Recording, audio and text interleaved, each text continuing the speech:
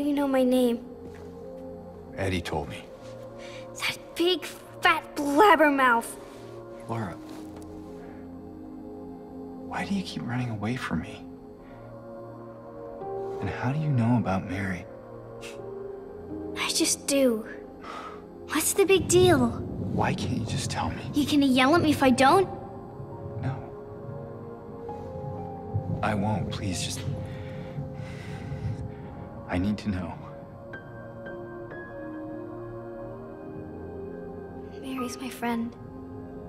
We met at the hospital last year. Stop lying. Laura, I, I'm sorry. Fine, don't believe me. See if I care. Hey! Let go. I'm sorry, Laura, but I can't let you just run around this place. You might get hurt. Hurt by what? Look, just stay with me, okay? This is no place for a kid. Fine. There's something I gotta get. Laura, uh, It's important. what is it? A letter. For Mary. What? I hid it. In there.